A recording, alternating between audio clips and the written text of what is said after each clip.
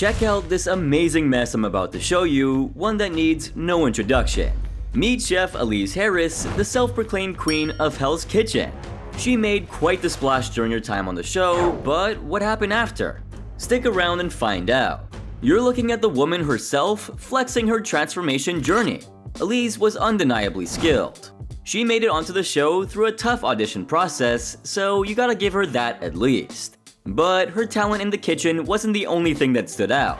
Remember when she refused to help her teammates with the risers during the All-Stars? Y'all are gonna have trouble getting that one up though, it's heavy. Well, that was nothing unusual for Elise. You see, she didn't play by the rules when it came to teamwork. And some of the antics she pulled, which landed her teammates in some hot water more times than not, actually ended up making her more popular. Post Hell's Kitchen, she branded herself as the Diva Chef. Now, before you start assuming things, let me clear the air here. Elise believes she served deliciousness in various assortments, D-I-V-A. Honestly, that's kind of a fun acronym. Now, whether her food was truly delicious is debatable, but her belief in her diva status was undeniable. Elise didn't win many friends during her time on the show, but she embraced being herself unapologetically. This was a value that she stuck to pretty much all the time, for better or for worse. I'm still the same Elise who really doesn't care what people think. It's okay. You can hate me. Let me give you my two cents on this. There is a fine line between being self-confident and being arrogant. Like, being self-assured and staying true to what you believe in can be very good. Also, being independent and innovative are both really good traits to have. However, when it comes to arrogance, it goes a step further towards a much darker place since it involves an inflated sense of self-importance and a lack of consideration for others.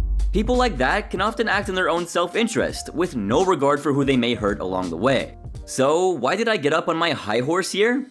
Because this is exactly the reason why nobody was happy to see Elise come back. She's here, I'm walking out. Bye. Come on guys, it's a no-brainer. After all, Elise had a history of sabotaging her teammates big time. For instance, in Season 9, when her team lost the Mommy and Me lunch service challenge, instead of owning up, she did this. I feel like Carrie ran around the kitchen today like a chicken with her head cut off. That's one way to play the blame game, Elise. Queen of Hell's Kitchen? More like the Queen of Deception if you ask me. I mean, she wasted absolutely no time in blaming poor Carrie Keep. She pointed out that Carrie was running around the kitchen without a clear plan. However, Jamie Gregorich stepped in and revealed that the real issue was that Elise was constantly arguing with her. Why are you in my space? I'm not in Back your space. up, you're in my space. And everyone else on the team thought the very same thing.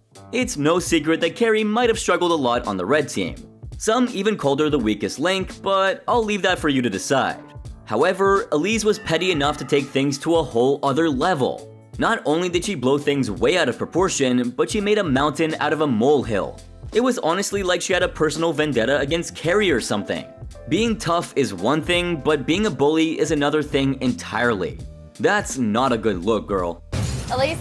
Elise? Hello. I'm asking her. She will not give me a timeline. But hey, once a diva, always a diva, right?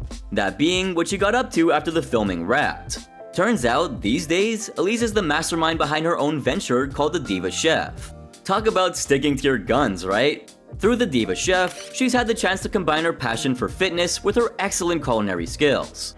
And what's more, she also competed in the NPC Baltimore Class A Bikini Championship and was placed in first.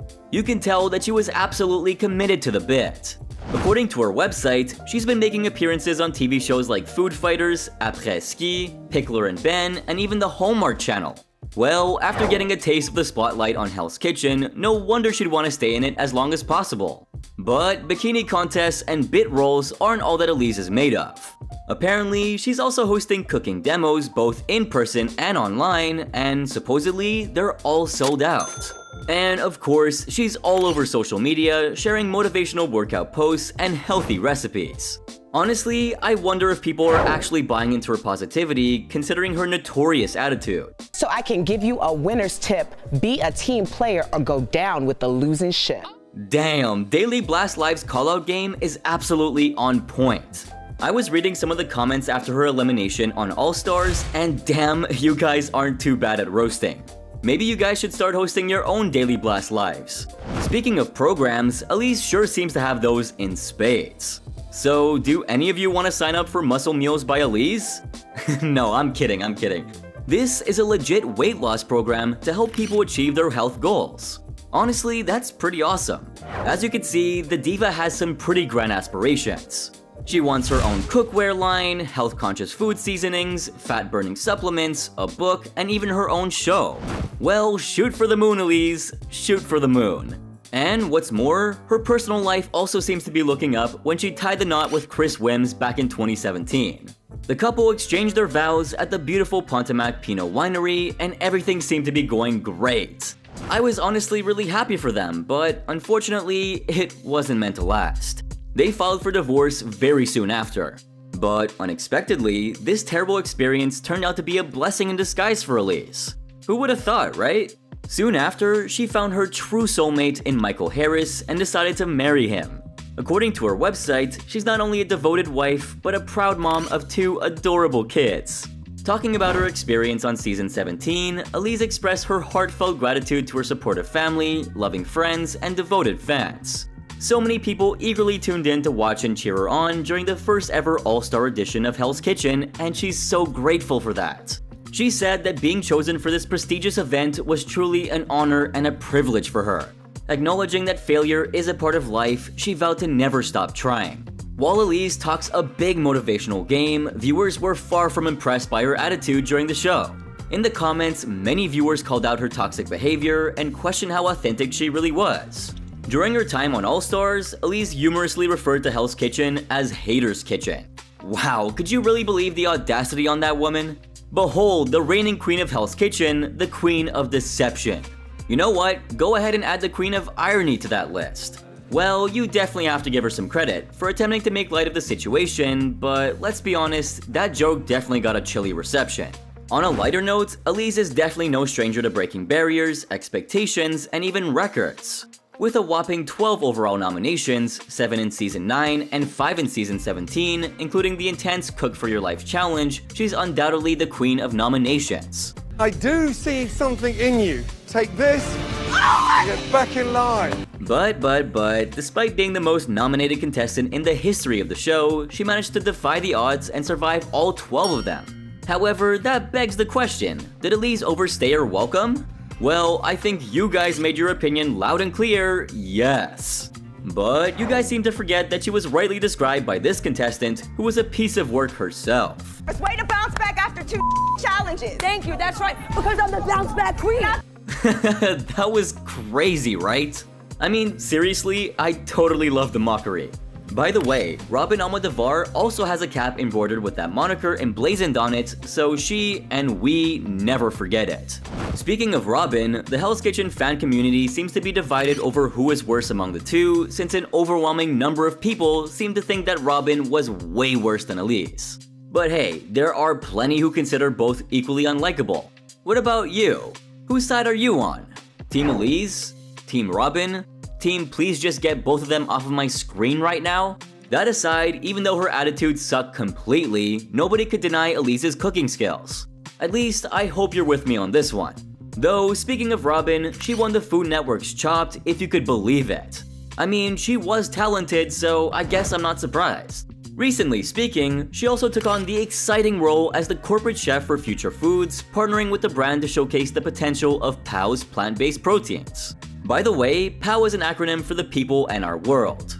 Her expertise in the kitchen proved invaluable as she worked closely with the sales and marketing team to build strong industry relationships and elevate the brand's presence across all platforms. She continues to lead the charge in POW's kitchen, where she's a master at developing new and innovative flavors. Listen to this. Her signature creations are delectable dishes like tikka masala, tacos al pastor, and Asian ginger sticky noodles, all featuring the wholesome goodness of POW's plant-based products. Vegan or not, it's definitely making me hungry. Anyway, does anyone remember this super awkward conversation? I'm the diva star. I don't know why they kept trying so hard, but Elise here clearly looked uncomfortable. Speaking of which, there are a few viewers who deserve to have their internet access revoked. No, like seriously. What are these damn disgusting comments? Like, come on guys, would you say this in person? Some women feel empowered sharing explicit photos online. It's their way of embracing their femininity and feeling confident. But the problem is, once those photos are out there, some guys start using them as an excuse to degrade and objectify women. That's the downside of social media after all. They're open to everyone and pretty easy to use. So what may have started as a positive expression can quickly turn into something very negative with guys treating these women's content as, well, you know. That's the male gaze on full display right there. Okay, whew, ran over, back to the show. Where were we? Oh yeah, here. I don't think I deserve to be up here. The key word was the three weakest chefs. What was with her constantly breaking into tears? Oh boy, I feel a rant coming on again. Expressing emotions and being vulnerable is a natural part of being human. Crying or showing vulnerability doesn't automatically mean that you're trying to manipulate someone or gain their support. With that being said, Elise has been accused of being a master manipulator by contestants like Josh. But was this the case here? What do you think? Cause honestly, I don't disagree that she cried way too often. For example, she broke into tears when the winner of All Stars was announced. Was it out of jealousy because she hated Michelle? Or was it a simply cathartic moment for her? I'll leave it up to you guys to figure that out. Now, let's go from tears to laughter. The date night dinner service was absolutely hilarious. She was stuck on the appetizer station with Jennifer, and from the get-go, they were at each other's throats arguing over who should be leading. Who's in charge here? Me, chef. I'll do it. I'm I'm very vocal, chef. I will take care of it. But it didn't stop there. Elise flat out refused to talk to Carrie. Yeah, if you thought we were done with this beef a couple minutes ago, you're mistaken. Elise, how are we thinking on the pasta? I'm thinking that I'd rather had done pizza. There's no way she could lead a horse to water. Chef Ramsay had to step in and remind them to put their personal issues aside and focus on the service. You'd think that'd be a no-brainer, but apparently not for Elise. As the night went on, it was one disaster after another for her. She sent up a dish that was supposed to be vegetarian, but guess what? It still had a lobster in it. Now, that's a crucial mistake, and Chef Ramsay wasn't pleased to say the very least. One fuck you vegetarian capellini, no lobster, just plain tomato sauce. Things got even worse when her oysters ended up overcooked. The famous chef had enough of her attitude and kicked her out of the kitchen. For all that we've been talking about the so-called Queen of Hell's Kitchen, we all know there's only one true king of the castle. Now, let's move on. Elise's feuds are legendary. She agitated absolutely everyone, but this right here was especially painful to watch. I am calm. I'm just saying. Yeah, you're always talking back to me. and You don't need to talk back to me. Talk about insubordination. During prep, Elise decided to show some quote-unquote appreciation to sous chef Andi by giving her a bit of attitude, and let's just say that sous chef Andi wasn't exactly thrilled. Andi straight up told Elise to cut it out and stop being a damn child. But we should know by now that Elise wasn't gonna take this lying down. She kept talking back to sous chef Andi, completely disregarding the chain of command in the kitchen. I'm here. You're here. Get it straight. Hello? I heard you. In a kitchen brigade, the whole point is to have everyone on the same page and know their roles, and a clear and established hierarchy helps in communicating that. But Elise, for all of her skill, seems to have zero respect for that. She did the very same thing on Après Ski. Yep, and unsurprisingly, she was infamous on that show for insulting her superiors. She got fired on the show, and the other cast members seemed to be pretty relieved about it. As the operations manager at Gibbons Life in the luxury concierge business, professionalism is a crucial requirement for the job. However, Elise struggled when it came to maintaining a professional attitude. That attitude gets in the way of her responsibilities as a manager despite her passion for the job. Ultimately, her lack of professionalism and inability to prioritize her duties led to her dismissal from the team. I really can't help but wonder if Elise is intentionally making herself the heel of every show she's on, or if this is genuinely how she is in real life. Her behavior on screen, especially in shows like Hell's Kitchen, has earned her a reputation for being confrontational and difficult to work with. However, it leaves many curious about whether there's more to her personality beyond what we see on TV. If Elise truly intends to play the villain, it might seem like a smart move to embrace it. However, it's essential to note that there is a difference between being a badass and just plain bad. True badassery lies in being confident, assertive, and fearless while still treating others with respect and consideration. It's a fine line to walk on, but finding that balance can lead to genuine admiration and respect rather than coming off like a jerk. Has anyone ever had the chance to meet Elise personally? After all, she's got a ton of fitness and cooking events, right? I'd love to hear firsthand accounts of what she's like beyond the reality show persona. Sound off in the comment section down below.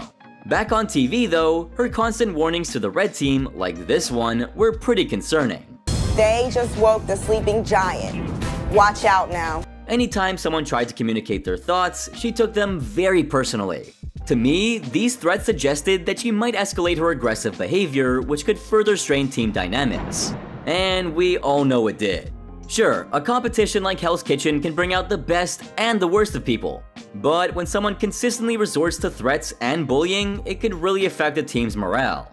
Really, nobody wants to work in an environment where they constantly feel attacked or belittled. It's good to be confident in your skills, but again, there's a fine line between healthy competition and outright hostility. Did Elise cross that line? What do you think? I mean, I obviously think so, but there are people out there who think this. The hot take of the century right there. You know, it's really easy for people to point fingers at reality show producers and claim that they intentionally made Elise look bad. But let's be real here. The producers might edit the footage for dramatic effect, but they can't just conjure up a whole new personality for someone. Sure, they might emphasize certain traits or create tension through editing, but they can't completely invent her behavior. Especially back then, before deepfakes and AI were a twinkle in the internet's eye. Elise was who she was, and the cameras just captured it all. Reality shows thrive on real personalities, even if they're not always flattering. That's why they call them reality shows after all. Besides, for someone who constantly accused others of backstabbing her, she sure showed no remorse when she almost took stabbing to a literal extreme. Oh, almost stabbed Jennifer. Oops. Sorry. Later, Elise was so darn confident during the second Black Jacket Challenge in season 17, but she couldn't back it up with her performance. She was all about thriving under pressure and being the strongest chef on the red team. But when she presented her poached lobster tail with Parmesan rice asparagus, Chef Ramsay spotted a major, uh, oopsie. And that's the poop sack that you do not want to crunch on. Yeah, let's call it that. Ugh, there goes my appetite for dinner tonight. Chef Ramsay didn't hold back and let her know that even a tiny mistake like that can ruin the entire dish. He didn't even taste it and gave it right back to her.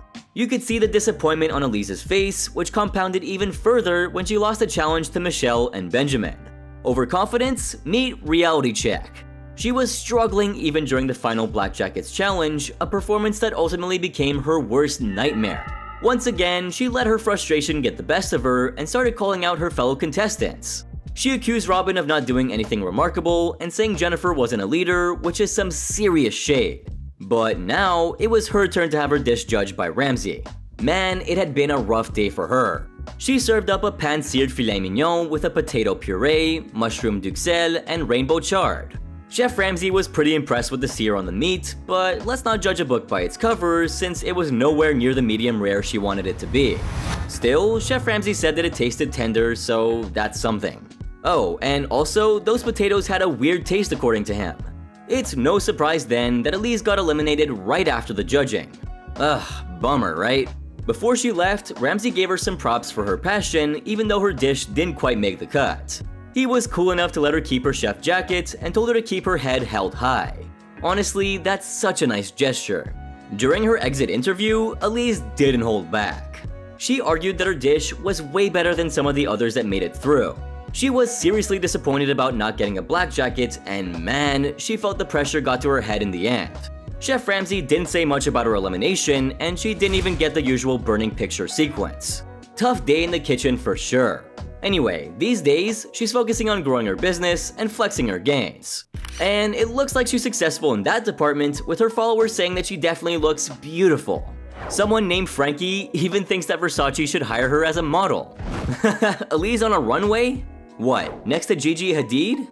Now, that would be a sight to behold. So that's the story of our favorite, or maybe least favorite, Hell's Kitchen diva. Hmm, did I miss anything big? Let me know in the comment section down below. And by the way, I got a lot more to share about Chef Ramsay, so don't forget to join me on my channel's Discord server for free. And guess what? I even have an exclusive server for those of you who are interested. Well, I'm excited to see you there, but before you leave, make sure to hit that like, subscribe, and turn on my post notifications. Also, don't forget to check out my latest video right here since it's even crazier.